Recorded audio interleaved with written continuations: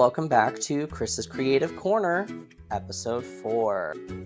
My name is Chris Cole. I'm an author with five published books. There are more books that are coming out um, next year that I am very excited about. And currently, we are talking about my romances, the romances that I've written that I have published through JMS Books. If you're interested, you can check them out. They do a whole bunch of different kinds of queer romances, which I think is very exciting and needed in this day and age. First things first, these are questions for Chris. This is a new thing that I'm introducing where people message me questions and I answer them as a way to help you get to know me better and know my work better. Um, please feel free to leave a comment, question below. We'll get you in the podcast at some point. So, the first question is When did you first realize you wanted to be a writer? So this is interesting because I kind of hinted that I first started writing in eighth grade and then in high school. And then I took a hiatus basically from creative writing and I focused on writing for television and everything as I went through my college degree. It wasn't until I left the news in 2015 that I wrote what would turn into the first book of my sci fi series. And that was when I decided that's what I wanted to do. I was 25 or 26, and that was when, for the first time ever, I realized what I wanted to do and something that I felt really passionate about and really called to do. It took me a while to find a career setting where I felt the same way, and I found that in the counseling program. But writing has become a way for me to express myself and tell the stories that I have inside that I didn't even know existed until I started writing them out. So, yeah, I've known for less than 10 years that I wanted to be a writer, and it took me five years from writing my first book to actually take the step to try and become published. And now that I am, I'm excited, and there's no looking back. I'm going for it the next question was submitted by a writer friend on Twitter, and it has writer terminology that I have to explain. Um, it is Are you a pantser or a plotter? So, pantsing is like flying by the seat of your pants, which is how some people write books. They just like have the story and go blah and tell the story. Um, plotters have outlines and backgrounds of characters and like character sheets, and they have what happens minute by minute, chapter by chapter, paragraph by paragraph kind of thing. Like they're very, very detail oriented. So, in that regard, I would say that I started out as a pantser and I am turning into a plotter. The reason for that is as a pantser, what I would do is I would have this idea for a book and I would just write down a paragraph of what I could see on like the back cover of the book and then I would start writing as I wrote, I would think of scenes. Um, I would think of amazing things that they could do or say. Um, ultimately, I try to really tap into if I were this person, what would this look like? And as I've got, as I've gained more experience, I realized that going through that process as you're writing actually takes me out of the writing so instead, if I have developed the character beforehand, if I've developed the idea and what scenes I would like within the story first, instead of doing that as I go along, ultimately I feel like it gets me more into the writing process and I can write it um, a, a, cleaner draft um, with less editing. And I can write something that actually I feel works. Um, there are a couple stories that I've written that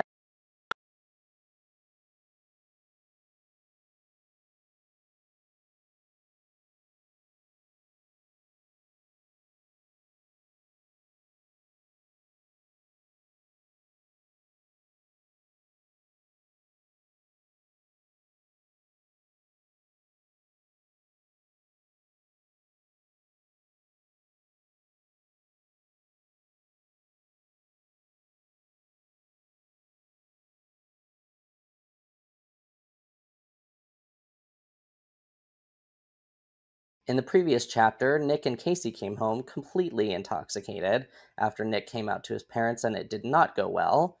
Hector greeted them and was upset about their state. Nick yelled at him and was not very nice, and Hector packed up his bag and left. Casey, meanwhile, kissed Nick while they were drinking and said he liked kissing him, and then the next morning, Casey just kind of brushed it off as they were having breakfast. And ultimately, Nick is now wondering is he free? Chapter 4 Deal, No Deal. The answer to that question came sooner than I thought. I got a text from Hector saying he was coming home to talk. I told him I'd have dinner ready for him. We sat down to dinner after exchanging stiff pleasantries. I even made one of his favorites rigatoni with chicken and pesto. He picked at it in silence before setting his fork down with a clatter. Did you mean everything you said last night? I sighed. I wish I hadn't said any of it. But did you mean it? I. I mean, yes and no. There are things that bother me that I haven't talked about because you made it seem like it wasn't important to you when I brought it up. He picked his fork up and swirled it in the pasta. Like the socks? Yeah. That's so stupid to me. Socks are socks. I just wear them. But they come in pairs for a reason. I don't care. He suddenly raised his voice, then dropped his fork again. Just because it bothers you doesn't mean I need to change it. Well, when I'm the one doing the laundry, you don't want me to touch your clothes, so you just do them all if you did them like they're supposed to be done. This lasted for a while. Hours. We'd never bickered like this before. It was like we were airing out all our grievances at once. There were so many issues. If you'd put the glasses on the left side of the sink, we wouldn't have to. The plates are supposed to go over there because of where the stove is in the kitchen. And it just kept coming.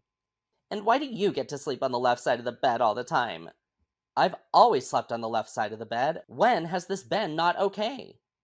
I used to sleep on the left side of the bed when I was single. I threw my hands in the air. When you were single, you had the whole bed. I'm so sorry you have to share. My god, it's like pulling teeth to get you to realize we're both in this relationship. I was exhausted by the end of it, and my pasta was cold. I violently threw it away in the garbage and took his plate without asking whether he was done. I put them in the sink with a clatter and stood there. What are we going to do? I asked after a moment. Hector had his head in his hands at the kitchen table. I don't know. But we can't go on like this. You're right. This this isn't good. Probably the worst. I thought for a moment. Once this record deal comes through, I'll be away in Nashville for a bit recording. Maybe some time apart will help us miss each other. I don't know. I spent last night away and I didn't miss you. I gritted my teeth. That was one night I'll be gone for a month at least. He didn't even wait until I'd finished talking before he spoke again. I don't think I can be with someone so selfish. I looked over at him, outraged. What? I cook dinner all the time. I clean, I do laundry, I work 40 hours a week plus my band, and I still make time for date night every fucking week. What more could you possibly want from me? Me, me, me. I, I, I. That's what I'm talking about. He stood from the table to face me. All you talk about is what you do for me. I don't care that you do the laundry. I don't care that you cook dinner. I could eat macaroni and cheese for days. You're putting effort into things I don't care about and then lording it over my head. It's just us speaking different love languages. Oh, fuck your love languages bullshit. He walked into the bedroom and opened my dresser drawer, angrily taking out clothes and throwing them on the bed. Every time you talk about that shit, I hate it. Just because you went to counseling doesn't make you right. It's like you think it makes you superior or something. I threw my hands up in exasperation. Fine, you win. You're right. I'm not expressing love at all. I'm simply finding things to do to hold over your head and make you feel bad about yourself because my goal in a relationship is to be a giant prick. Happy now? He got to my second drawer and started throwing clothes on the bed, not answering. What are you doing? I want you out! He screamed the last words so loudly it made me jump. I don't want to live with you anymore. I don't want to be with you anymore. I don't even want to remember you anymore. Raging, he threw open the third drawer and just dumped all the contents out. When he reached the last drawer, I tried to stop him, but he pushed me back. He opened the drawer and dumped it out, including a brown paper sack. Is this drugs? His shriek was so high, only dogs could hear it. I'm pretty sure one started barking outside. No, it's. He pulled out the comic book I'd bought him three months ago for his birthday next month. This. He sighed and looked at me, anger and hurt mingling on his face. You know I've been looking everywhere for this. For a while. I nodded. You had it this whole time? It was for your birthday. His face grew red. But I wanted it. I didn't want you to get it for me. I wanted to get it for myself, for my collection. I looked at him in disbelief. It was supposed to be a thoughtful gift. He shook his head and threw it down. It's tainted now. I can't put it in my collection. It will forever remind me of you.